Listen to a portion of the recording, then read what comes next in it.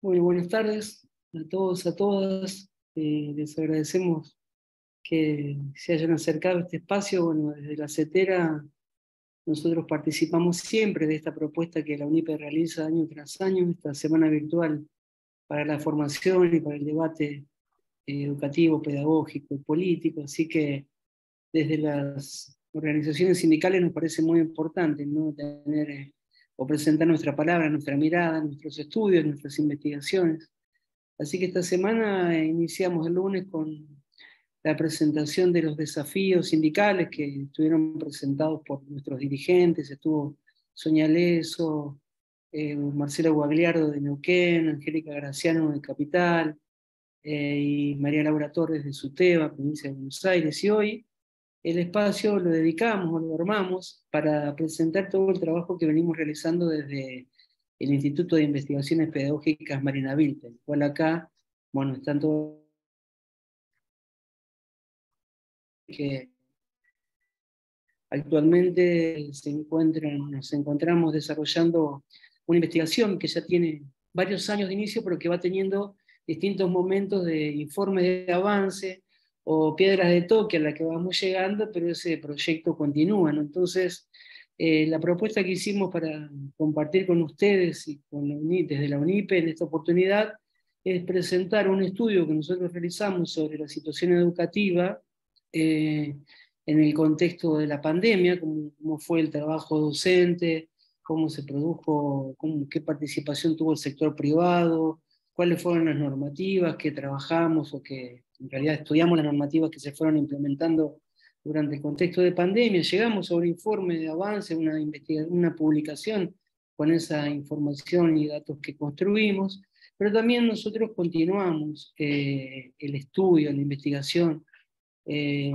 a partir del trabajo de análisis de fuentes secundarias o también la organización de, de talleres, de grupos de discusión, entrevistas, relatos que solicitamos a distintos docentes de todo el país, para ir construyendo un dato, una información que tiene la característica diferencial que es construida desde la perspectiva sindical, es una mirada que hacemos desde la organización sindical. Entonces, también hasta el andamiaje metodológico nosotros vamos discutiendo, revisando, construyendo, enseñando y aprendiendo entre todos nosotros no solo sobre la temática que trabajamos, que es la, la situación educativa, sino también sobre la misma metodología, ¿no? ¿Cuáles son eh, los modos metodológicos que tenemos o que nos debemos dar quienes investigamos sobre el propio trabajo que hacemos? Así que esto es una discusión permanente que vamos dando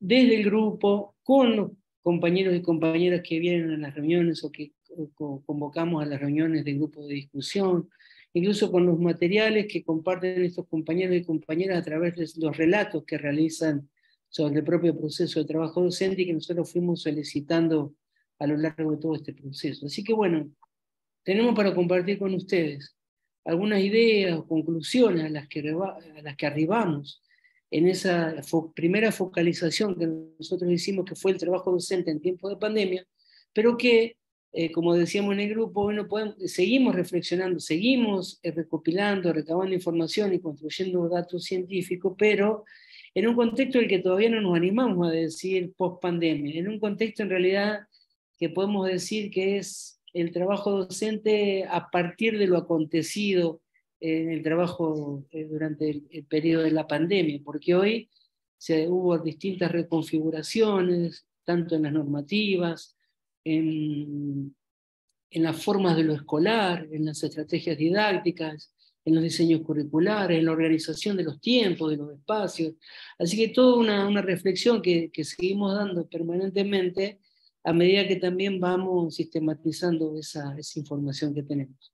Así que desde CETERA, bueno, nos interesa que, que esto se conozca también como un proceso de formación permanente entre la propia docencia, porque es no es la academia que produce conocimiento sobre lo que nosotros hacemos, sino que nosotros, trabajadores y trabajadoras, también con una mirada académica, con una mirada de trabajador y trabajadora, producimos conocimiento desde otra perspectiva, de otro lugar, con otros, con otros objetivos, con otros propósitos, eh, y que tiene que ver también con el condicionante de hacerlo desde una organización sindical, porque somos nosotros los que también discutimos qué preguntarnos, qué investigar, y no adaptarnos a las preguntas que formulan otros y nosotros simplemente recabamos la información, sino que el proceso se desde el mismo momento en el que nos comenzamos a preguntar cuáles son las mejores preguntas que, que nos podemos hacer en cada contexto histórico desde la mirada sindical desde la mirada de la clase trabajadora docente. Así que bueno, en este espacio eh, hoy vamos a estar compartiendo, acá están las compañeras que, que han tomado, una, si bien es un equipo de trabajo, un colectivo de trabajo, cada una de las compañeras ha profundizado un poco más algunos de los ejes que, de los cuales compone todo el proyecto de investigación. Por eso, bueno, nos repartimos o nos distribuimos las presentaciones, las opiniones, los puntos de vista, poniendo el énfasis en cada uno de esos ejes, pero todos los ejes que tomamos están íntimamente relacionados. No podemos hablar de la privatización, del avance privatizador sin pensar en trabajo docente, sin pensar qué normativa lo habilita, obstaculiza a ese avance privatizador. Entonces, son énfasis que ponemos, focos que, que damos para el análisis y, y, la posibilidad de compartir, pero que están íntimamente relacionados unos con otros. Por eso yo quiero mm, presentar a las compañeras que van a intervenir, cada una de ellas desarrollando uno de los ejes. Luz Albergucci está presente, Liliana Pascual, eh, María Valmedina, Andrea Núñez, y también nosotros tenemos, siempre lo decimos, el honor y el orgullo de contar con Adriana Pogueros, que forma parte de nuestro equipo, que para nosotros es tan importante y tan valioso tener siempre la mirada de Adriana, em, en el sentido de toda su trayectoria, poder recuperar y escuchar y aprender y seguir aprendiendo y producir con Adriana desde la organización sindical, para nosotros es muy valioso. Por eso queremos agradecer siempre eh, la participación de todas estas compañeras, de Adriana, que, que nos acompaña siempre y que está con la CETERA siempre militando ¿no? de alguna manera en esta forma de producir conocimientos, también no solo en las calles, en las plazas, cuando hacemos los paros, las movilizaciones, sino también en esta forma de lucha que es la producción de conocimiento en perspectiva crítica y que, bueno, contar con la mirada de Adriana para nosotros es muy valioso. Que la nombré al final porque, bueno, también Adriana va a hacer un cierre, una reflexión sobre, sobre esto que venimos haciendo. Así que, bueno, sin más tiempo que, que le robo para...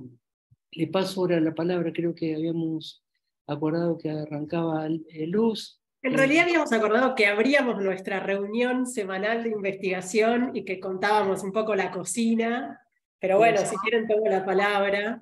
Ahí de, lo que decía Miguel, yo pensaba, una de las cosas que, que, me gustaría como destacar, porque es en el momento en el que estamos ahora, una, decíamos no presentarlo ya escrito, porque está escrito y está publicado y está bueno que cada uno lo lea también poniéndole el foco en aquellas cuestiones que, le interesan más, y sí contarles eh, en qué estamos ahora, porque la investigación que está, eh, que está publicada tiene su corte en la vuelta a la presencialidad plena, motivo por el cual mira las, las implicancias de la pandemia en el trabajo docente hasta ese periodo.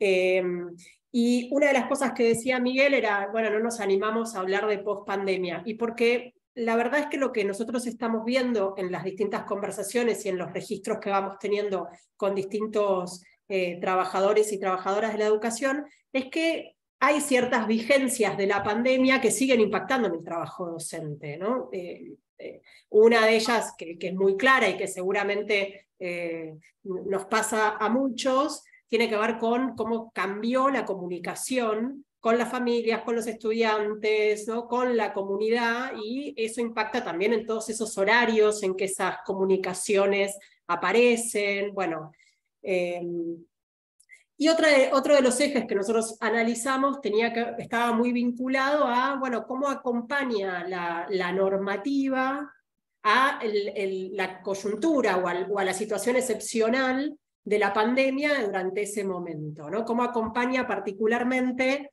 eh, las normas del Consejo Federal de Educación. Bueno, hicimos ahí como un rastreo que eh, básicamente lo que da cuenta es que el Consejo Federal eh, intenta encabezar un proceso para dar marcos comunes a todas las jurisdicciones, pero lo que encontramos es que esa efectividad ha sido muy dispar en aquel momento. ¿no? Haciendo una mirada muy rápida, lo que también podemos decir es que hoy las preocupaciones de ese Consejo Federal son distintas, claramente, ¿no? porque, entre otras cosas, también estamos en un momento diferente.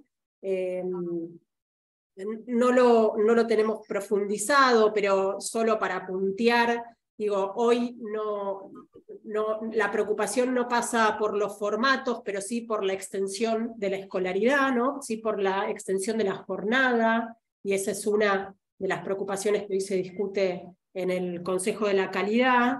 Eh, y también hay algunas normativas del Consejo, del Consejo Federal que, me parece relevante destacar, como por ejemplo la creación de consejos consultivos, que era una deuda histórica ¿no? del Ministerio, de consejos consultivos de, del, al Consejo Federal, que era una deuda histórica y que, bueno, podría dar cuenta de alguna de las preocupaciones actuales de la política educativa en este periodo eh, de vigencias de la pandemia ¿no? y, de, de, impactos en ese trabajo que tienen que ver con la actualización curricular, digo, la preocupación sobre el currículum aparece eh, en escena y eh, la preocupación también sobre la planificación de las políticas educativas, ¿no? como, como cuestiones eh, distintas que empiezan a aparecer ahora y que, bueno, marcan e impactan, seguramente tienen algún impacto en el, en el trabajo docente, pero no quiero espolear a mis compañeras tampoco, así que, y la idea era hacer una conversación.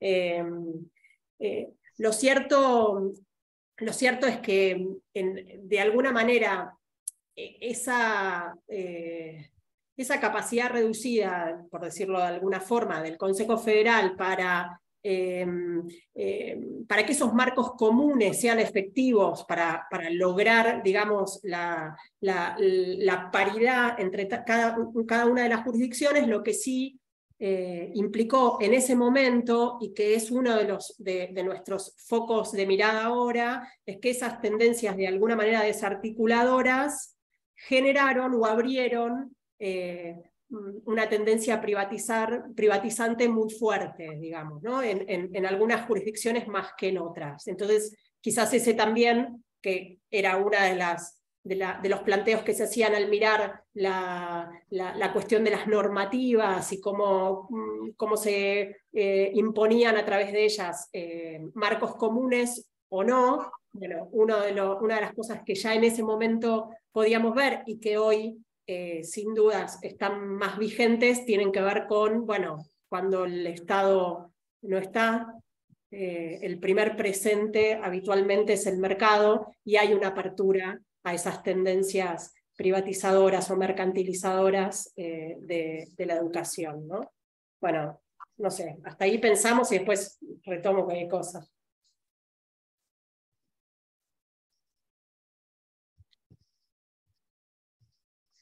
Bueno, no sé si Miguel, continúo yo. sí, sí, sí. la palabra más o menos como habíamos quedado directamente. Bueno, eh, sí, yo voy a hablar un poco sobre las tendencias privatizadoras durante la pandemia. Eso no quiere decir que las tendencias privatizadoras eh, hayan comenzado con la pandemia. Ya comenzaron varias décadas antes, pero de alguna manera se agudizaron durante el periodo de pandemia. Y voy a hablar específicamente de un aspecto de este proceso de mercantilización educativa que tiene que ver con la integración de los intereses del mercado en las políticas públicas. ¿no? Eh, durante la década de los 90 en nuestro país hemos visto que hubo muchos grupos, eh, think tanks o em, empresarios, ONGs, organismos internacionales incluso, este, que de alguna manera han desarrollado una lucha por la hegemonía de, determinados, eh, de determinada ideología y de determinados valores. esos valores o esa ideología propia de las ideas este, neoliberales eh, que se instalaron con fuerza durante los 90 en nuestro país, tienen que ver justamente con eh, ideas pro mercado, eh, donde se considera la educación como un bien que puede ser vendido y comprado, donde los, eh, los estudiantes son considerados como clientes dentro de ese mercado de la educación y donde el sistema em, educativo y especialmente la organización y administración del sistema educativo se ve invadido por nuevas formas de organización y de gerenciamiento entre em, lo que se conoce como la nueva gestión pública. Y yo recuerdo em, que cuando nosotros dejamos, cuando yo estaba a cargo de una dirección en, en el Ministerio de Educación del Gobierno de la Ciudad de Buenos Aires hasta el 2007, cuando yo dejé esa dirección, esa dirección se transformó en una gerencia, ¿no? Es decir, los nombres que se le daban justamente a las direcciones o a los distintos, eh, este, a los distintos em, estamentos, organizaciones con responsabilidad de gestionar dentro de los organismos públicos, eran gerencias. Y eso pasó justamente a partir del 2019 también en el Ministerio de, perdón, en el, a partir del 2015 en el Ministerio de Educación Nacional. Es decir, nosotros cuando justamente modificamos la estructura en el Ministerio de Educación Nacional en el 2019, uno de las grandes, de los grandes eh, cambios que hicimos fue justamente cambiar los nombres. Los nombres en realidad vienen cargados de sentido y otorgan sentido a las funciones, ¿eh?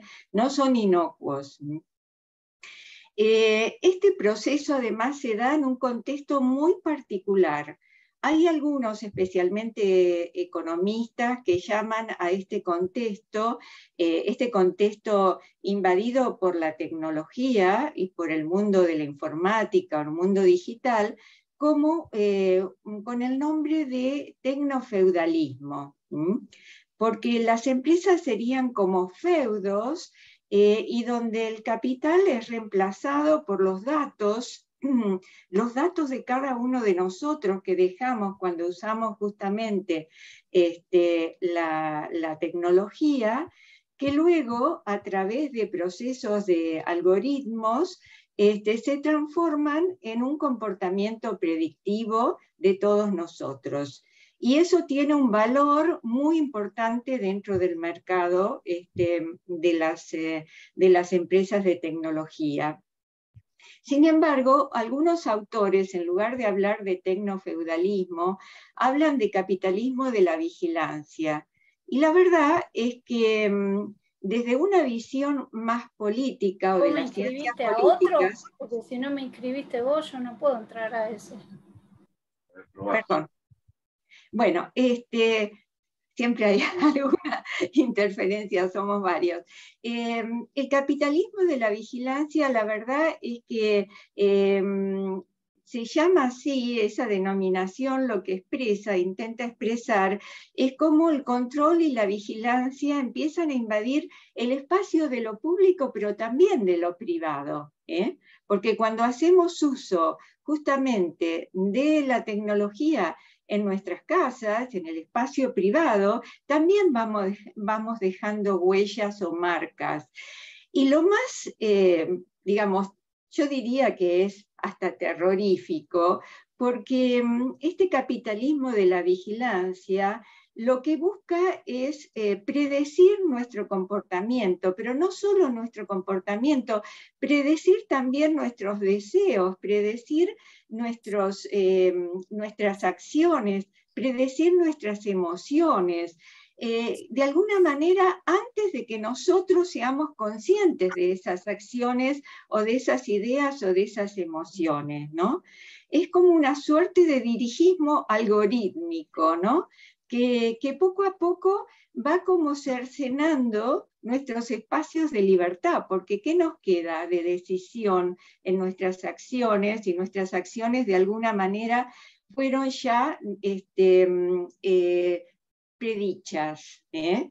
Y por otro lado, no solo este, se puede predecir nuestros comportamientos, sino que lo más terrible es que muchas veces eh, se puede influir y condicionar nuestro comportamiento. Y eso me parece todavía mucho más, este, mucho más terrible, ¿no? Em, en el campo educativo, la pandemia fue el momento más propicio justamente para el avance de estas empresas tecnológicas. ¿Por qué? Bueno, porque evidentemente al abandonar la presencialidad nos volvimos dependientes de una tecnología que nos permitía seguir eh, manteniendo contacto con los estudiantes, entre los docentes, en el mundo mismo de la sociabilidad, en el mundo social. Eh, fuimos, pasamos a ser dependientes de la tecnología al estar justamente en este, confinados en, nuestra, en nuestros hogares. Y mm, de alguna manera los gobiernos vieron en estas empresas, en esta tecnología, en estas nuevas plataformas que se ofrecían, una manera para poder continuar con este vínculo pedagógico.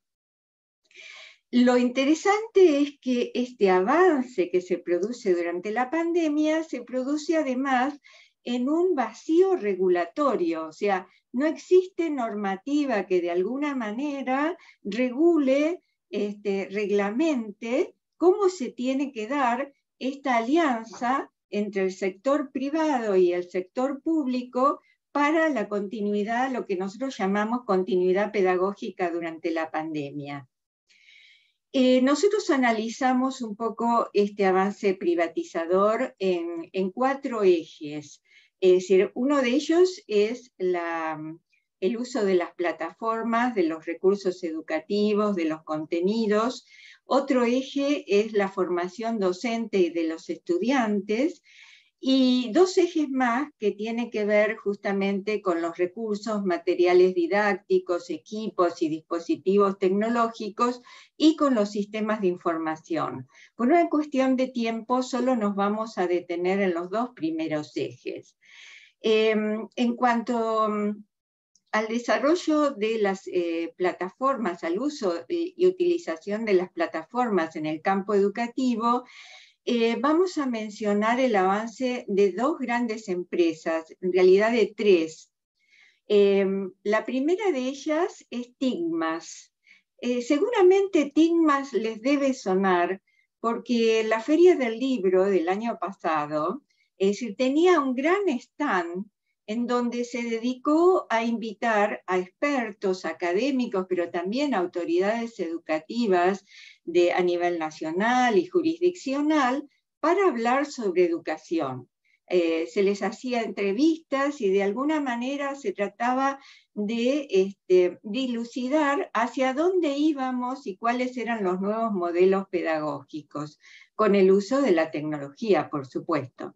Tigma es un nuevo desarrollo de una empresa llamada Vida Tech, que mm, es una de las compañías más innovadoras en contenidos digitales en Latinoamérica. Está pisando muy fuerte en Argentina, pero en toda América Latina, este, incluso en, en lo que no sé si llamarlo post pandemia, pero sí el regreso a la presencialidad plena. Y además es una plataforma, pero desarrolla también contenidos, recursos informáticos, cursos para docentes, para estudiantes y para directivos, y también eh, secuencias didácticas. Se unió a Google, con lo cual es eh, un partner de, Google, y por lo tanto este, tiene justamente, eh, forma parte de, lo que significa ser reconocido por Google for Education. Eh, por su parte, también Google es una empresa que este, creció mucho durante la pandemia.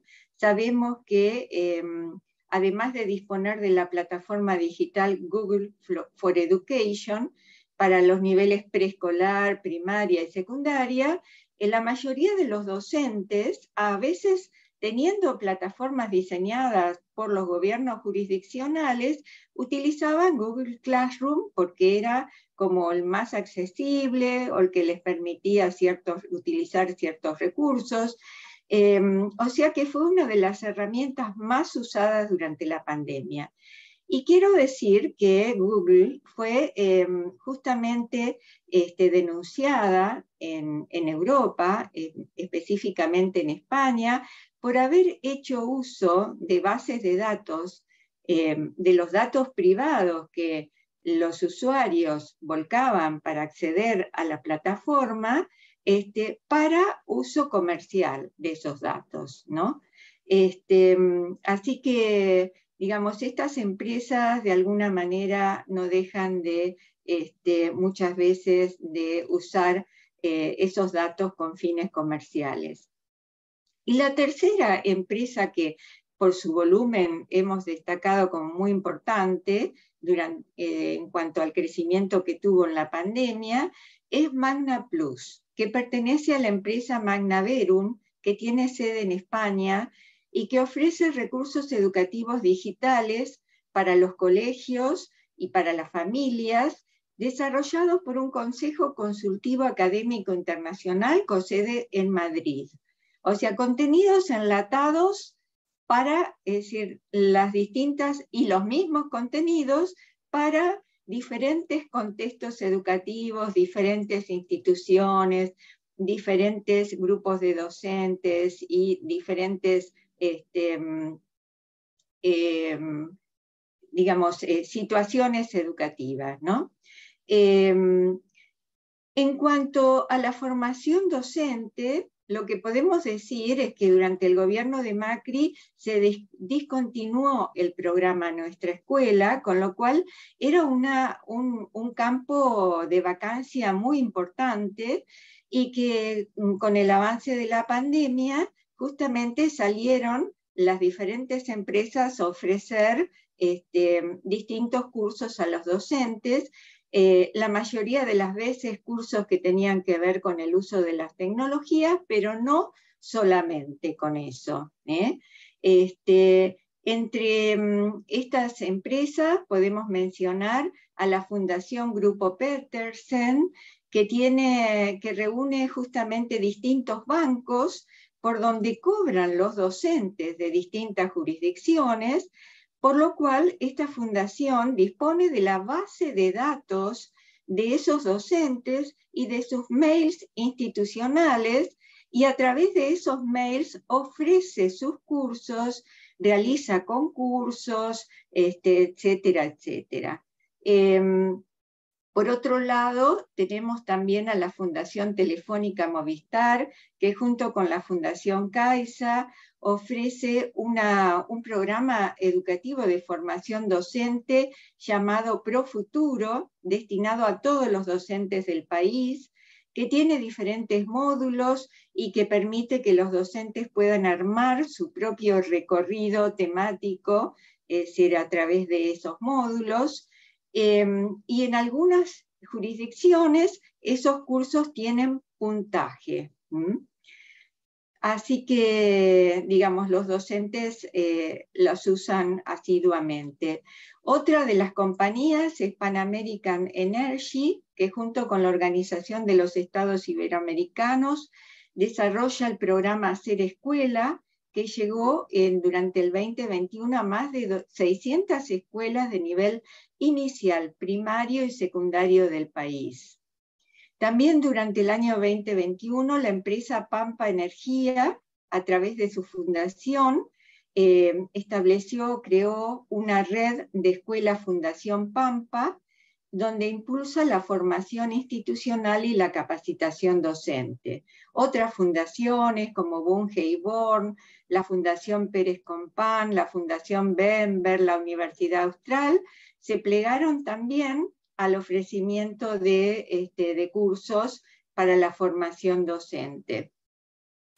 Em, en cuanto a la oferta destinada a los estudiantes, especialmente estudiantes avanzados de educación secundaria, podemos citar Coca-Cola Argentina, la Asociación Civil ChicosNet, que desarrollaron el programa Programón para jóvenes de todo el país, la Fundación Junior Achievement, em, también ofreciendo cursos fundamentalmente de educación económica, emprendedorismo, formación para niños y jóvenes sobre finanzas personales, ahorro, inversión, etc. Eh, evidentemente se ofrece una formación docente con un modelo pedagógico bien alejado del modelo que nosotros este, veníamos desarrollando a través de nuestra escuela. Em, ¿Qué pasa en la pospandemia? Miguel dijo que nosotros estamos como elaborando nuevas preguntas en este periodo de presencialidad plena. Y la verdad es que hemos visto em, que decir, han proliferado en este periodo de la presencialidad plena una serie de reuniones, simposios, seminarios y demás, este, mm, donde están eh, esas reuniones esponsoriadas fundamentalmente por las llamadas EdTechs, que son las empresas de tecnología que actúan en el campo educativo. Hay alrededor de 1.500 EdTechs que se reparten el mercado y que ven justamente que América Latina y el Caribe son justamente un mercado creciente y un mercado muy auspicioso en términos de inversión. Es decir, Brasil es el país que tiene más cantidad de compañías, alrededor de 900.000 EdTechs. Eh, le siguen en general México, Chile, Argentina tiene alrededor de 100 compañías EdTech operando en el mercado educativo. Es decir, estas, eh, estas compañías se reparten alrededor del 70% del mercado con un financiamiento que supera los mil millones de dólares. Eso nos da una dimensión del gran negocio de inversión que están haciendo las EdTechs en el campo educativo en América Latina. Y es interesante es decir, ir justamente a la fuente para ver qué es lo que están pensando los CEOs de estas EdTechs, porque mm, en enero del 2023 el Instituto Tecnológico de Monterrey organizó el noveno Congreso Internacional de Innovación Educativa y uno de los CEOs que habló en ese congreso, Patrick Brothers, eh, justamente destacó algunas, algunos elementos que son a mi entender, claves para entender qué está pasando en este momento y qué es lo que se están planteando estas compañías con respecto al mercado educativo en América Latina. Eh, este Patrick Brother lo que dice es que eh, actualmente hay una oportunidad nunca, nunca ha sido mayor para decir, el hacer tech en Latinoamérica y el Caribe. Si bien estas compañías venían actuando desde mucho antes, pero este periodo ¿eh? em, de la pandemia y mm, posterior a la pandemia es como la oportunidad más grande de inversión que tienen estas compañías. ¿eh? Es interesante este, lo que estos CEOs piensan sobre este mercado potencial. Dicen que los estudiantes y los docentes buscan mejorar sus habilidades en el mercado laboral, que es altamente competitivo, y que las instituciones buscan alianzas con estas compañías justamente para apoyar la transformación digital. Eh, y esto le otorga una oportunidad única a las EdTech que están dedicando muchos más fondos para este crecimiento. Pero el mayor desafío que plantean justamente estas, estas compañías para el crecimiento de este mercado es este, el bajo nivel de madurez digital que existe en las instituciones educativas y lo que ellos llaman una amplia resistencia al cambio. ¿A qué se llama madurez digital? Madurez digital es el grado de desarrollo de la tecnología digital en las instituciones. Y lo que ellos llaman resistencia al cambio, en realidad nosotros podemos observar que no hay en los docentes, por las entrevistas que venimos realizando, un abandono del uso de las tecnologías, ni una gran resistencia al uso de las tecnologías. Lo que sí podría haber es una resistencia a un modelo pedagógico que plantea el uso de las tecnologías y que deviene de estas grandes compañías. Eh, Adriana va a hablar un poco sobre, sobre eso hacia el final y va a explicar un poco más este, qué es lo que piensan los docentes. ¿no? Entonces, frente a estos desafíos, este, Patrick Brother justamente lo que plantea es que la clave está en que se puedan hacer alianzas entre estas compañías o estas empresas EdTech y este, los gobiernos para lanzar iniciativas y eh, proporcionar incentivos para usar eh, las EdTechs en las escuelas, en las universidades y en todos los establecimientos laborales. Eh, y que la clave justamente para hacer esas alianzas es este, la, colaboración. Colaborar para lograr esta transformación digital. Entonces, frente a esto, cabe una reflexión que nos hacemos desde CETERA.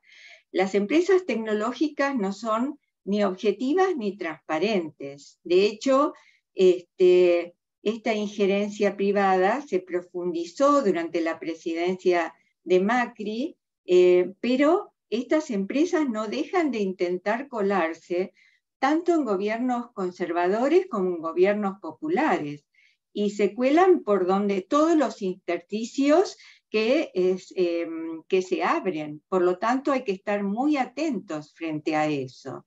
¿no?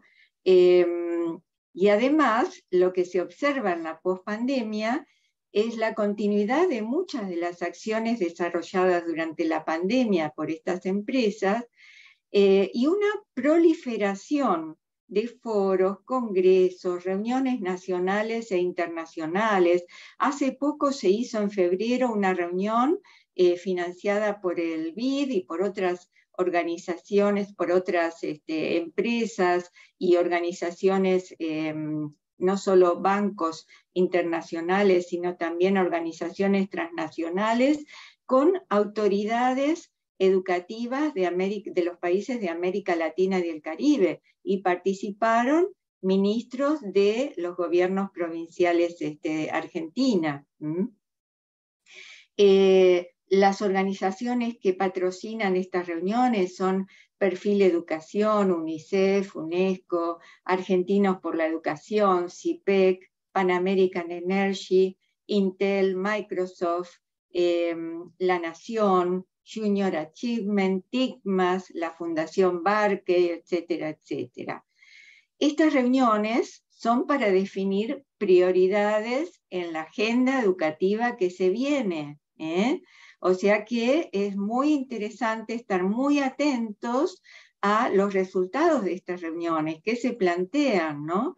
Eh, porque además generan compromisos, se generan a partir de estas reuniones nuevos compromisos para acelerar determinadas acciones educativas. Y fundamentalmente, el eje de estas reuniones es el conocimiento de la robótica, la programación en las aulas, em, eh, la utilización de herramientas informáticas, promover el aprendizaje innovador y colaborativo basado en proyectos, este, socializar experiencias didácticas ya realizadas en distintos grupos o instituciones educativas. De hecho, las compañías este, em, EdTech impulsan el uso de la tecnología para la construcción de nuevos modelos pedagógicos. Em, nuevos modelos pedagógicos donde de alguna manera en esta concepción neoliberal de la educación prevalece una visión muy lineal y simplificada eh, de la compleja relación que existe entre tecnología y enseñanza.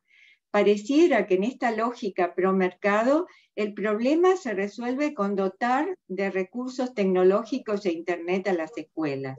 Es decir, de hecho, nosotros lo que tenemos que hacer es eh, tener una mirada crítica eh, para construir modelos pedagógicos desde esa mirada crítica, donde la tecnología pueda ser el complemento de una visión pedagógica integral, ¿eh? este, donde el eje sea la presencialidad y las relaciones sociales en la presencialidad. La tecnología como una herramienta auxiliar y no como el eje de un modelo pedagógico. Creo que tenemos que seguir pensando, pero, pero este es un gran desafío que se nos plantea en este momento. Bueno, paso la palabra, compañeras. Eh, bueno, retomo la palabra. buenas, tardes a todos y a todas. Eh, yo voy a referirme al eje 3, que refiere a la situación del trabajo docente en pandemia. En principio voy a retomar algunas, unas pinceladas de las principales dimensiones analizadas y después mi compañera María va, como ya mencionaron las compañeras que precedieron, eh, hay una investigación en curso que toma esta investigación y continúa en, relación a estos ejes. Eh, lo que podemos decir es que bueno, las restricciones eh, sanitarias implicaron fuertes modificaciones al puesto, al proceso y a la organización del trabajo docente. Y en este marco más general, la investigación este, trató de analizar entre las principales dimensiones, tres grandes grupos que son la disponibilidad, de, el primero, disponibilidad de recursos, materiales formativos, organizativos y de disposición del despliegue del trabajo cotidiano. El segundo punto, las transformaciones en el puesto de trabajo docente.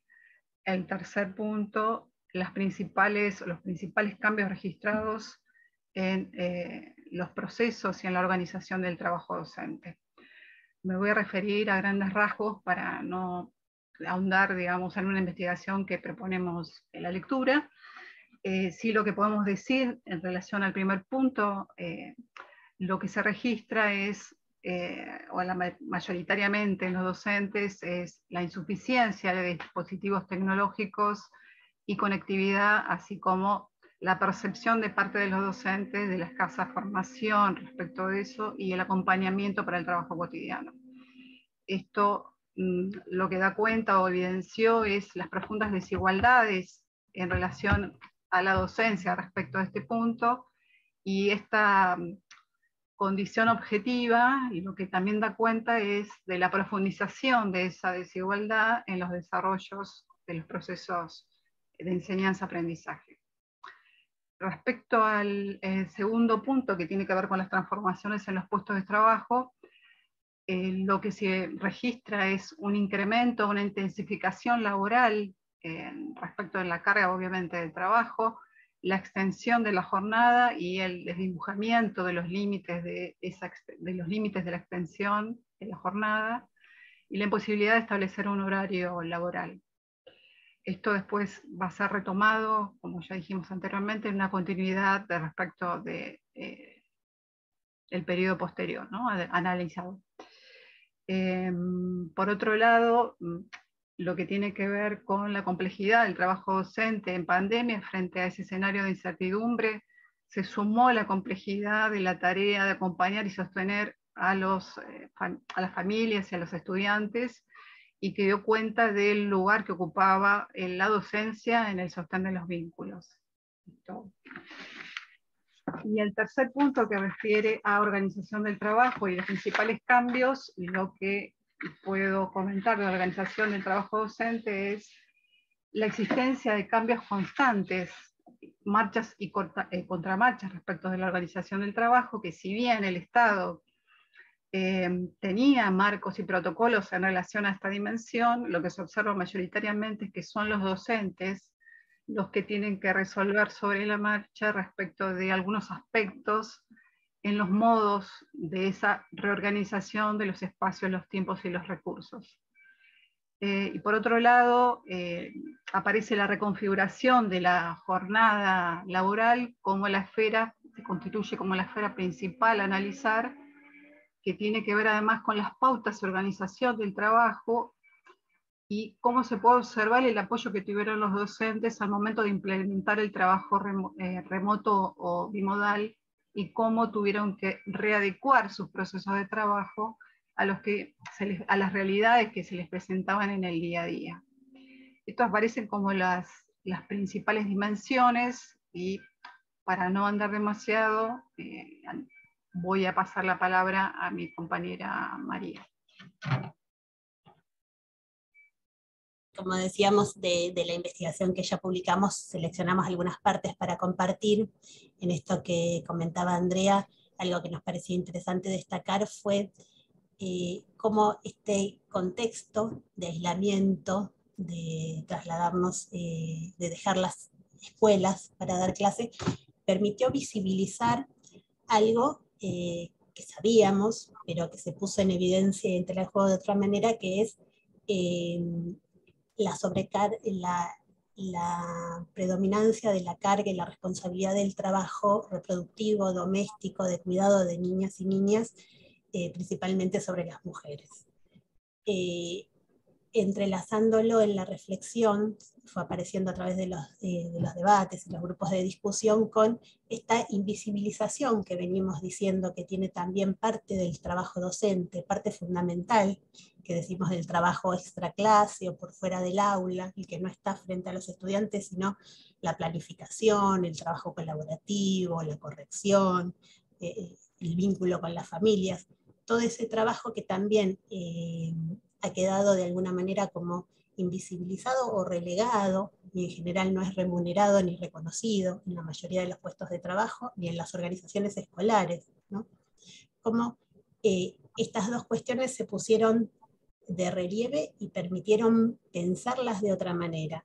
Y en esta vuelta a mirar decimos, bueno, eh, esta experiencia nos permite eh, tomar la dimensión de, bueno, cómo se piensa una organización del trabajo donde esto tenga un lugar, tenga puestos, tenga puestos que tengan esas horas institucionales para poder planificar, para poder trabajar colaborativamente. Y por otro lado, se empalma por ahí con, otras cuestiones más generales que tienen que ver cómo eh, se piensan las políticas de cuidado y las opciones de las familias para que eh, las niñas, los niños, eh, las personas mayores sean cuidadas y no siga sobrecargando a las mujeres necesariamente, sino que se pueda dar como otra distribución en esto. Ahí es como que nos parecía interesante mirar como un trabajo predominantemente ejercido por mujeres y otra carga que se nos dio en este desdibujamiento de los tiempos y los espacios, pero en realidad tampoco nunca estuvo separado, pero bueno, nos permitió mirarlo de otro lado. Y ahí decíamos como por ahí nos llevaba a otra reflexión que tiene que ver con eh, estos cambios. Sabemos que se dieron de manera abrupta. Tuvimos que salir a responder sin, sin previsión. Sobre el momento se fue buscando la manera, pero mayoritariamente fueron las trabajadoras y los trabajadores de la educación con su compromiso y esfuerzo que lograron sostener los vínculos con las familias y los estudiantes, y la continuidad pedagógica, que fue una definición eh, del Estado, de los Estados nacional y provinciales de sostener la continuidad pedagógica, pero que en lo concreto, lo que vimos como una recurrente entre la mayoría de, de las situaciones es que fueron las y los docentes los que estuvieron ahí buscando la manera de comunicarse, de acercar un cuadernillo, de armar un grupo de WhatsApp, y en esto que se empalma con, lo que decimos eje 2 o tendencias privatizadoras, con lo que tuvimos a mano. Y lo que tuvimos a mano mayoritariamente fue el mercado ofertándonos y poniéndonos. Eh, se intentó desde los distintos estados, tanto nacional como provincial, desde las instituciones sindicales, dar propuestas, formación, acompañar. Pero sabemos que en eso el mercado nos gana cabezas, no, cabezas, sino eh, pasos, diría. Y en, ese, en esa batalla ahí eh, es como decimos, bueno, hay que poder pensar, pensar como decía Miguel, desde este, nuestro propio lugar como trabajadores y trabajadoras para ver eh, qué es lo que tenemos que demandar de estos cambios que se nos metieron de prepo en la pandemia o por la ventana. eh, nos resulta, eh, apareció en alguno de los relatos de ahora, la planificación compartida en Drive. eso fue un recurso que algunos docentes en la creatividad de ver cómo sostener propuestas pedagógicas utilizaron. Eso es algo que nos parece que tendríamos que buscar tiempos, espacios, acompañamiento para que continúe o no. los grupos de WhatsApp. La mayoría de las familias o estudiantes accedieron a los teléfonos personales de las docentes y los docentes que habitualmente eh, preguntar cosas que iban por cuaderno de comunicación. En ese momento no teníamos el cuaderno de comunicación. Bueno, ahora vuelve a estar, pero ¿y los grupos de WhatsApp siguen como listas de difusión? ¿Siguen como preguntas que tenemos que contestar en cualquier horario? ¿O cómo, cómo repensamos esto? Eh, ahí es como que nos parecía que eh, esta experiencia nos tiene que permitir volver a, esta presencialidad plena con una mirada de, eh, bueno, lo mejor es el classroom o el classroom puede, puede acompañar a la presencialidad y puede servir para que el estudiante que no puede continuar eh, presencialmente por algo o podemos eh, abogar a un campus de una universidad que arme espacios de aulas que nos permitan o directamente esos no son herramientas que nos sirvan pedagógicamente y sirvieron solo para esa etapa. ¿no? Bueno, en, estas reflexiones es que estamos ahora y que estamos armando eh, grupos de debates para ver cómo, qué está pasando. Eh, lo que sí decimos es, eh, cualquier proyecto pedagógico tiene que tomar estas dimensiones del trabajo docente, que para nosotros son constitutivas y tienen que ser pensadas, tanto la organización del trabajo, y del puesto, la organización curricular eh, y la política institucional. No podemos eh, pensar eh, proyectos que vayan en clave de derecho social a la educación, sino vamos a poder dar tiempos, espacios, recursos, poder dar una propuesta con algo que se pueda sostener en el tiempo, que pueda estar construida en función de la experiencia y del trabajo de investigación. Ahí con, con, estas ideas por ahí de lo que es el trabajo docente, queríamos como aprovechar que la tenemos a Adrián y que, que nos ayuda ahí como a, a, mirar siempre, abrir camino, vista y horizonte para, para contar un poquito por dónde estamos eh, caminando ahora. Bueno, hola, buenas tardes a todos. Este es otra vez un gusto estar eh, en la semana UNIPE eh, con CETERA y, con el Instituto Marina Vilde, sobre todo, con el equipo de investigación. ¿no? Es decir, a mí me gustaría primero, digamos, recalcar cuál es el sentido, cuál es la importancia de que el sindicato haga investigación.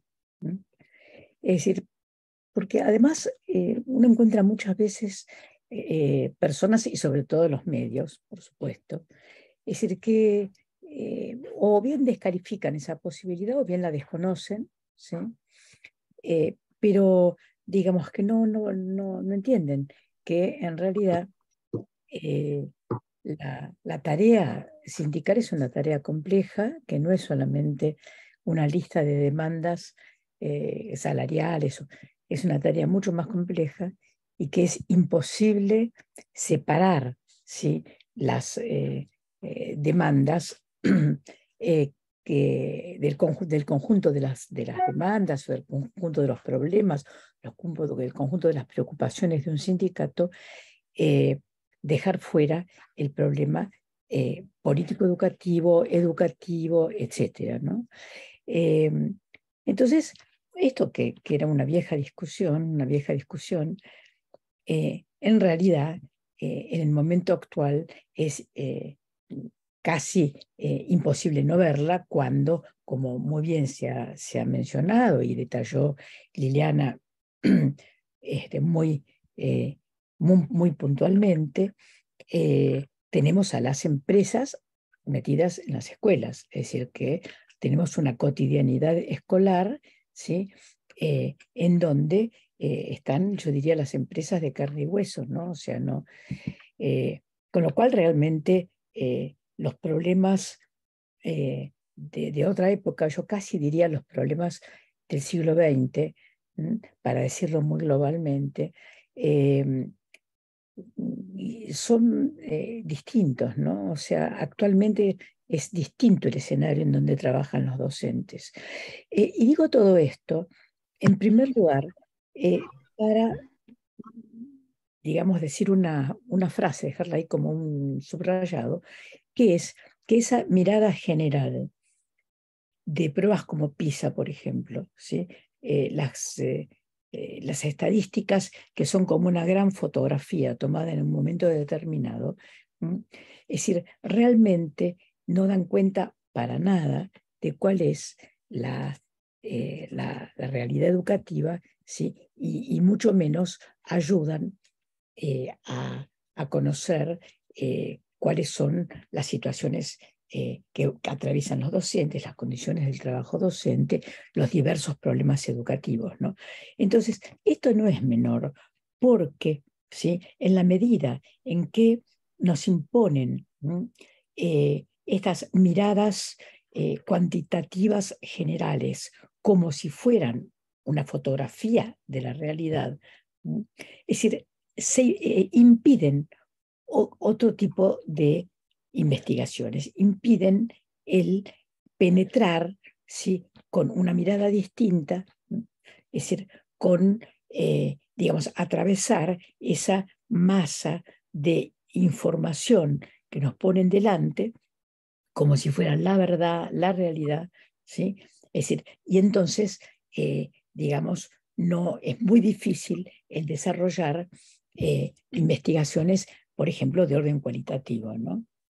Em, o utilizar eh, investigaciones es de, cuantitativas, pero pensadas de otra manera, desde otro punto de vista, eh, digamos, entendidas en, su, en sus limitaciones. ¿no? Em, en ese sentido es que a mí me parece que eh, cuando Liliana como habrán visto hace un seguimiento muy detallado, esto no empezó ahora, los libros que ya se han publicado de este grupo de investigación, el Instituto Marina Viltes, etcétera, este, que, mm, que están eh, al alcance de todos porque además los regala, etcétera. Eh, en donde se ha mostrado el avance del sector empresarial el avance del mercado sobre la escuela en América Latina, en la Argentina, etc. O sea, ya hay unas cuantas cosas publicadas, pero justamente esto que viene siguiendo Liliana eh, es una información fuerte, es una información muy importante, porque es una información que está vista desde el sindicato. Yo les pregunto, ¿dónde hay una información detallada como la que acabamos de escuchar? ¿sí? Y que también lo que decían las, compañeras, y Andrea y May, este, pero donde hay una información detallada sobre qué es lo que están haciendo las empresas. ¿no? ¿Dónde está? Em, excepto si esta investigación, que como ven es un eje de la investigación, un trabajo de seguimiento, es decir, de, un, en un largo plazo, eh, no solo cuando aparecen esporádicamente, sino con lo que decía Lilana, siguiendo los congresos que tienen, escuchando qué es lo que están planificando, etc.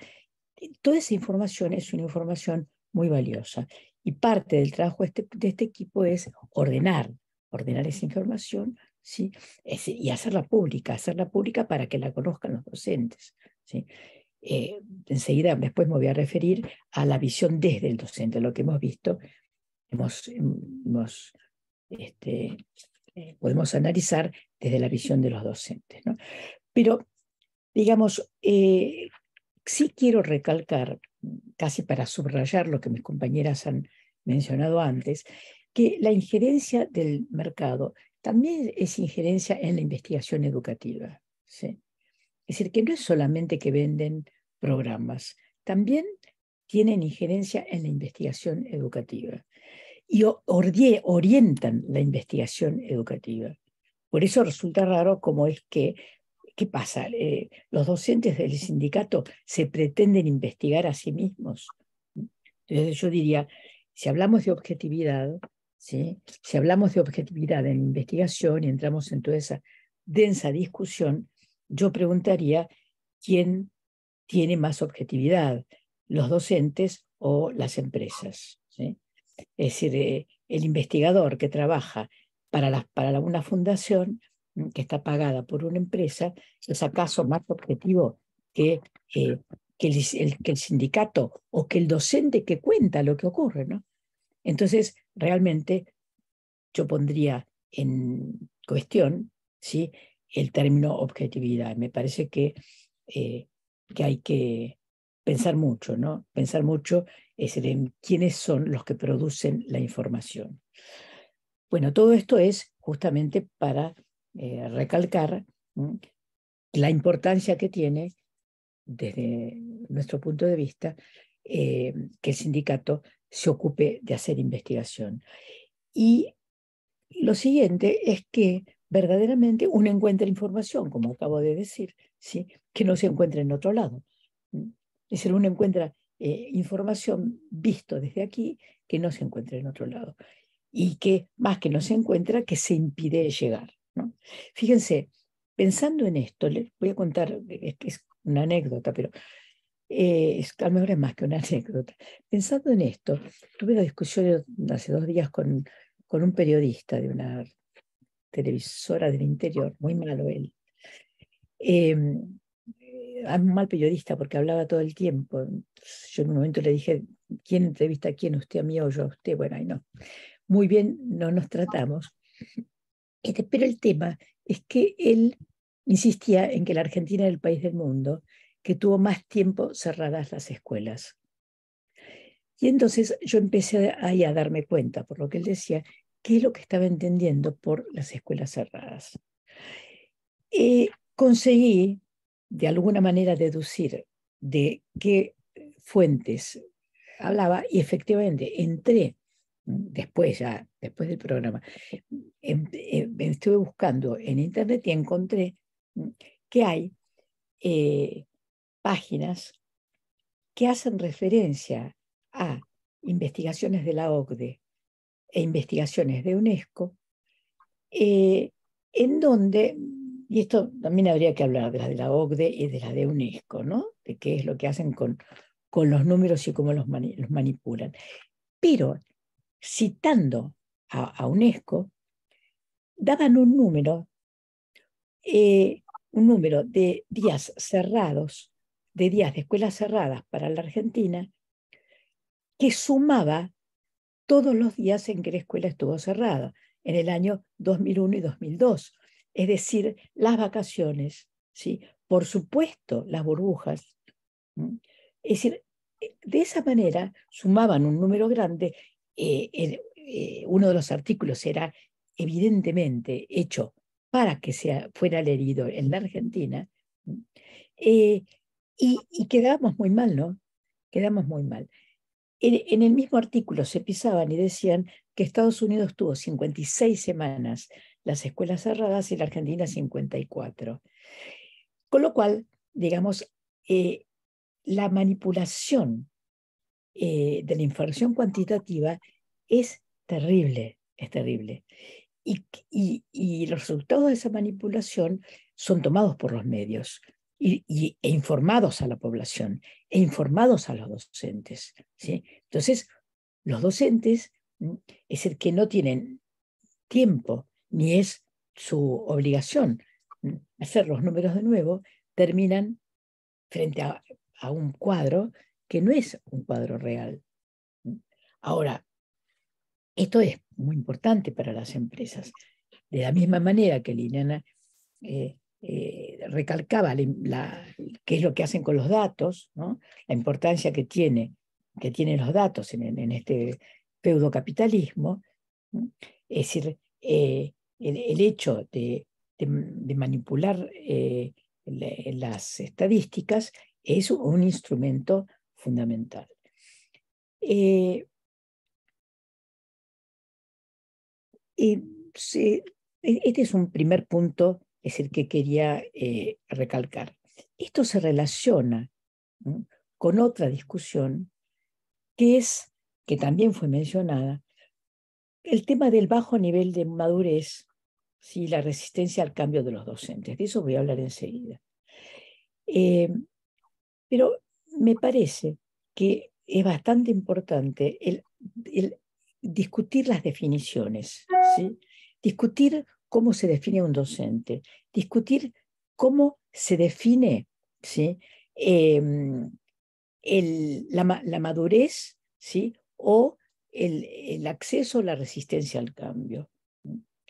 Eh, ahí también le voy a contar una anécdota. Hace unos días tuve una discusión con una colega muy, muy bien preparada, una colega realmente que, que es una, una, pedagoga, importante, que no está acá, no está en la Argentina en este momento, em, que me llamó diciendo, mira, eh, los docentes argentinos no saben nada, se resisten al cambio, se resisten al cambio, eh, y la inteligencia artificial está acá. Y ustedes seguramente habrán visto que hace una o dos semanas hubo una especie de fiebre de inteligencia artificial. Es decir, que muchas personas que se habían, miraban que la inteligencia artificial, incluso un periodista conocido fue e hizo una prueba de inteligencia artificial y otros en Inglaterra, acá, y otros en Inglaterra, y bueno, y les daba un resultado u otro resultado el robot, y era muy desesperante. Entonces esta colega me planteaba, bueno, los docentes argentinos estaba muy enojada con los docentes argentinos. Entonces yo le dije, mira, no es así. Eh, lo que nosotros hemos, mi impresión es otra, y no es simplemente una impresión, sino que esto es producto de la investigación que estamos haciendo en CETERA, eh, en donde hemos visto una cantidad grande de docentes. Entonces me dice, mandaba la investigación. Digo, no, no puedo, es una investigación que va a ser publicada. Pero bueno, ahí quedamos. Pues, lo que sí, te voy a, a citar algunas eh, expresiones de los docentes. Eh, con lo cual, digamos, yo tenía eh, muchos, muchos quiere decir 60, 70 por provincia tenemos, de docentes que han mandado, eso lo menciona, Miguel, una parte de la investigación ha sido, una parte de, la, de, la, de lo que hicimos el año pasado, que era una etapa exploratoria en esta investigación y una parte de esta etapa exploratoria ¿sí? fue pedirles a los docentes que mandaran un relato de un día. En una página, un relato de un día, qué es lo que hacen en un día, y que además les preguntamos una o dos cosas más, como cómo se sienten después de la pandemia, qué cambios hubo después de la pandemia, etc. Y entonces, eh, no, me, acuerdo ahora eh, el número total, se debe acordar, Andrea mucho mejor que yo, pero digamos, yo tenía 60 docentes de una provincia, 50 de otra. Y entonces lo que quiero decirles, ahora enseguida voy a volver al tema de, el bajo nivel de madurez y la resistencia al cambio, sobre todo. Em, entonces hice un análisis eh, borrador estamos, parte del trabajo que estamos haciendo ahora, de hecho, en esta reunión eh, estamos exponiendo el trabajo que se está haciendo, no es casi una reunión de como una reunión nuestra habitual de trabajo. Entonces, yo encontré las siguientes, encontré las siguientes cosas y le mandé, le mandé alguna información a mi amiga diciéndole, mira, los docentes dicen esto. Eh,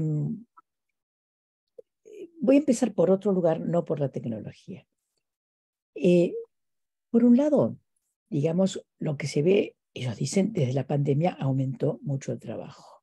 Cuando uno lee lo que pone un docente, lo que pone cada docente, de lo que hace en un día, eh, porque desagregan, dicen, estas son todas las tareas que hago en un día. Yo no voy, lo tengo acá, no lo voy a leer porque sería muy largo, pero será parte de lo que en algún momento eh, seguramente publicaremos como resultado de la investigación. ¿no?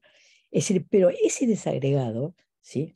Eh, realmente eh, es un desagregado que, que hace pensar mucho, que hace pensar mucho y que, y que lleva a, a lo siguiente, ¿no? A, ¿Vieron cuando, cuando se vincula calidad con salario y se dice los, eh, la, educación anda mal porque como cobran poco los, los docentes, entonces trabajan mal? ¿sí?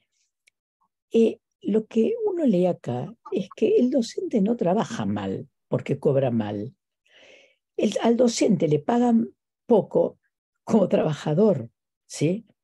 Pero cuando el docente está en la clase y está con sus alumnos, no está en ese momento diciendo voy a trabajar mal porque me pagan poco, sino que, como cualquier trabajador, entra en su trabajo, ¿sí? Y se vincula, se vincula con los chicos, obviamente sí, fue a cinco escuelas ¿eh? y tiene una sobrecarga, etcétera, obviamente va a estar más cansado, obviamente no va a poder hacer las cosas tan bien como si fuera un docente finlandés. Pero este, o sea, súper bien pago, este, con, etcétera. Es pero lo que quiero recalcar es que una cosa que aparece es todas estas tareas hago en el día, aparece en, en, en todos los relatos que nos han mandado, y esto aumentó durante la pandemia. La segunda cuestión que aparece es la violencia. ¿sí? La violencia es registrada, pero no en un lugar tan destacado como dicen los medios. O sea, se la menciona vinculada al deterioro social y a la carga de trabajo extra que representa para las, los docentes. Pero, pero no como, eh, digamos, eh, esa imagen televisiva en donde vemos un, de un delito detrás de otro, detrás de otro, detrás de otro. Esto no quiere decir que no haya lugares del país con situaciones peores. Esto no quiere decir eso. Estoy hablando en general. Estoy hablando en, general del país, ¿no? Pero aún en, lugares complejos, ¿sí? Lo que uno encuentra, estoy viendo un, por ejemplo, es decir, que no es que haya más eh, violencia en la escuela que en el conjunto de la sociedad. Eh, y dice al mismo tiempo que nuestra labor es cada día más difícil, dice esta docente. No solo cumplo mi horario de trabajo, hago visitas a las familias de mis alumnos, respondo mensajes de WhatsApp todo el tiempo, o sea que ya vemos que esta docente alguna vinculación con la tecnología tiene, dice, a padres y madres por diversas consultas. Dice, llamo por teléfono preguntando por qué no asistieron a clase. Eh, y como estas actividades, muchas, ¿sí? que a lo mejor no corresponden a mi labor docente, pero son necesarias. Eh, otra docente de otra provincia está diciendo em, que eh, han cambiado muchas cosas en cuanto a la comunicación, dice, porque ahora se exige que las, los docentes, las familias exigen que las, los docentes proporcionen sus números de celular, que tengan un grupo de WhatsApp, que tengan WhatsApp abierto, ¿sí? que contesten por ese medio las demandas que se hagan. Dice, también cuestionan con mucha mayor frecuencia que antes de la pandemia cualquier falta cometida por los docentes, ¿sí? las actividades que se pueden observar, las actividades que, planificadas, etc. Eh, una, un tercer punto es que los mencionan insistentemente que hay cambios en los vínculos pedagógicos, tanto cambios negativos, eh, cambios negativos como cambios positivos. Entre los primeros aparecen dificultades para conectarse con los alumnos, nuevas dificultades. Y también recalcan dificultades anteriores. Y también que les cuesta mucho el despertar el interés en temas escolares. Eh, dicen, sin embargo, que hay una fuerte revalorización de la escuela y también que hay una actitud de compartir dispositivos digitales. En ese sentido, algunos mencionan que eh, hay chicos que comparten el celular y que, digo, a nosotros nos hace pensar que eso, que hay que pensar fuertemente al celular como un dispositivo digital. Yo me acuerdo en el 2006, 2007, que la provincia de Buenos Aires una fuerte discusión sobre eso, sobre el uso de los celulares en la clase, que finalmente salió una disposición por la cual no se permitía entrar a la escuela con celulares.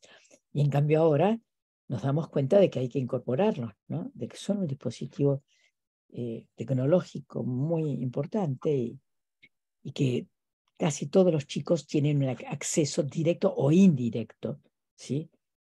a, un celular. La otra cosa también que se ve muy positiva es que hay una valorización de la presencialidad. ¿sí?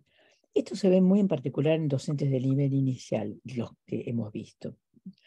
Y al mismo tiempo hay eh, una actitud de aceptación de nuevas modalidades, de espera y de aceptación de nuevas modalidades didácticas y tecnológicas. O sea, la actitud tradicional ¿eh? de resistencia del sistema respecto a los cambios, hay algo cambió, algo cambió. Cambió los últimos años, la pandemia incidió, eh, algo cambió. La actitud es más abierta. ¿Eh? y, quizás, quizás justamente donde mejor se ve esto. Tengo el, estamos trabajando con, los materiales de la investigación. Em, es, digamos, estoy tratando de llegar al tema tecnológico. Eh, se sostiene que la tecnología se ha incorporado como una necesidad y un derecho, dicen las dos cosas. Dice, es, mi derecho, es derecho que todos eh, los docentes, que accedamos a la tecnología, reclaman dificultades de conexión, ¿sí? Eh, esto creo que Andrea lo comentaba hace un rato, pero reclaman dificultades de conexión en general, como a un sujeto abstracto, estamos mal conectados. Entonces, eso es importante, porque ese sujeto abstracto, ¿sí? ¿quién es? ¿Es el Estado? ¿Son las empresas? O reclaman dificultad para acceder a programas, y por ahí dicen a Google, ¿no? O este, o Google Class. Y la otra cosa es la naturalización de algunos programas que son los programas de las empresas, sin dar cuenta, digamos, sin saber que este programa que yo incluyo y que tomé eh, cuando estaba en la pandemia, o al final de la pandemia o, o, después, porque no tenía otra cosa, porque no me había llegado nada, entonces yo tenía urgentemente que conseguir un programa, tomé este, con todo mi derecho, tomé este, pero ahora quedé enganchada. Ahora quedé enganchada con esta empresa, ¿sí? Es el que me va a seguir, eh, tengo que usar el lenguaje de esta empresa, conozco la, el lenguaje digital que me presenta esta empresa, las imágenes son, son familiares para mí y los, para los chicos sigo con eso. Entonces, fíjense qué vida de entrada, ¿no? Fíjense qué vida, qué vía de entrada. Em, la verdad es que eh, las cosas que dicen en ese sentido, por ejemplo, acá, eh, en pandemia utilizamos Classroom, ¿sí? Y se quedaron, ya se quedó, ¿no? Quiere decir se quedó, y se quedaron con la vuelta a la presencialidad. O sea, los programas se quedaron con la vuelta a la presencia, no se fueron. Otra persona dice, hoy los usamos como repositorio de material y de clases. Fíjense que son dos posturas distintas. ¿sí? Una cosa es cuando, una cosa es, y eso estamos averiguando, no podemos tener una respuesta todavía, si la mayor parte de los docentes ¿sí? está usando, que nos parece que puede ser así. Está usando la tecnología como un material más o ¿sí? cuáles son los que en realidad tienen las nuevas tecnologías como el centro de su actividad. hasta dónde se delegó al programa eh, que, se baja en la tarea docente. Ahí hay una diferencia importantísima a investigar. Bueno, eso no se puede investigar con una fotografía eh, sacada por PISA. Eh, eso requiere una investigación eh, de orden cualitativo muy cuidadosa. después, por ejemplo, otra cosa que dicen, en cuanto a contacto con docentes, a ver, dice, se agilizó mucho el contacto de los docentes con los estudiantes porque usamos WhatsApp y a través de audios de intercambio de documentos con esa misma herramienta, lo podemos hacer más ágil y a la medida de la necesidad de cada estudiante.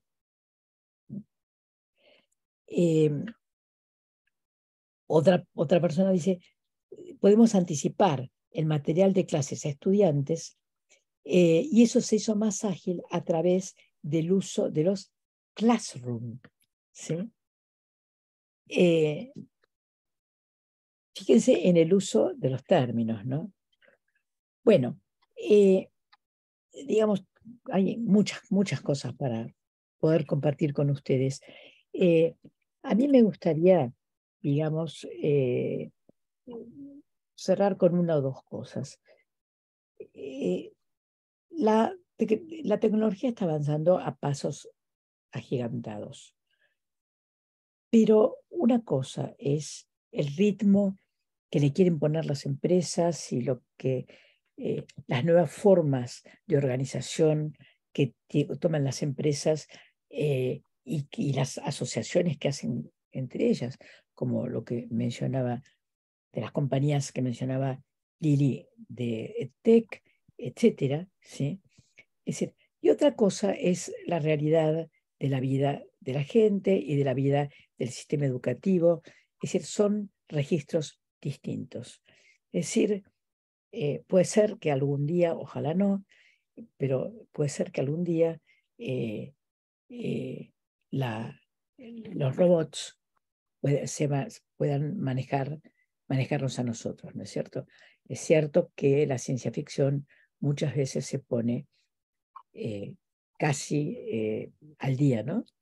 Estaba comentando que estuve viendo eh, Viaje a las Estrellas en la versión de Netflix, de, que dice Netflix algo que no es cierto, que esa es la primera versión, pero se copiaron la primera versión, y lo que ocurre en esa primera versión es casi como ahora, ¿no? Casi, no sé, uno va por ahí, las puertas se abren y se cierran solas adentro de la nave, ¿no? Pasan cosas que hoy son completamente naturales o tienen celulares, cosas por el estilo. Pero digamos, eh, yo creo que hay que usar un esfuerzo para no confundirse en cuanto a que es absolutamente eh, un destino el sustituir la presencia del docente, el vínculo pedagógico, ¿sí? por la tecnología. La idea, la tecnología ya nos, nos, ganó, la escuela ya no existe más, eh, eso es una ficción. Bueno, eso va al negocio el, el feudo capitalismo. Eh, con lo cual, digamos, la, la profundización de la investigación cualitativa, la insistencia en la investigación cualitativa y en la sistematización de la información que se va recogiendo, eh, tiene una importancia política y además, no además, y tiene una importancia pedagógica fundamental. Es decir, no podemos regalar ni el campo de la política educativa ni el campo de la pedagogía, que está muy dañado, muy dañado, ¿sí? no podemos regalarlo a, eh, a las grandes empresas. Entonces, digamos, eh, bueno, el, yo dejo acá, eh, no sé si quieren, cerrar mayo, porque creo que Miguel ahí no está. Sí, sí, gracias, Adriana. Ah, está. Quiero seguir por el cel de toda la charla. Excelente, la verdad que un acciones, etcétera, comentarle a los compañeros y las compañeras que seguimos esta acción, seguramente siguen mejorando. Eh, a distintos espacios, instituciones la docente, así que agradecer haber estado en el tiempo, espacio a la UNIPE, agradecer a todo el equipo se irán nutriendo y aportando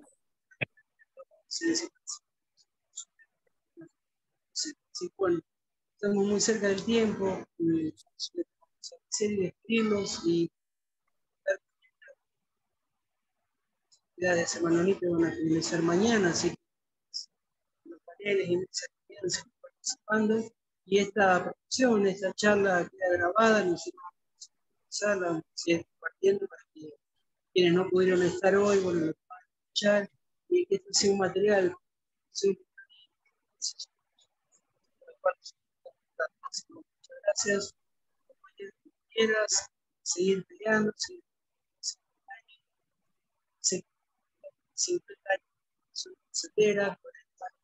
gracias, instituciones que tenemos que cuidar mucho, y el terrorismo de Estado.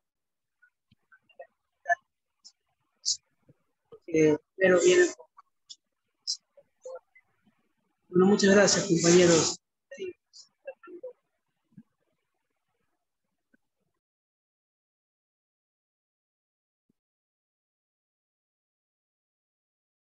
Bueno, se nos escuchaba más o menos a Miguel porque estaba viajando, tenía como el, el cierre que ahí, pero bueno, creo que se entendió la idea, que les agradecemos mucho el tiempo, que esperamos pronto poder ir compartir, compartir alguna cosa más, mientras quedó ahí que compartió Luz la investigación durante la pandemia que ya publicamos. Eh, y bueno, esperamos seguir compartiendo y encontrándonos en estos espacios. No sé, Luz, si querías. No, no, saludar nomás y agradecer, sí. Gracias a todos y a todas. Gracias, ¿eh? un placer estar acá. Gracias a todos. A todas. Muchas gracias. Gracias. Muy interesante.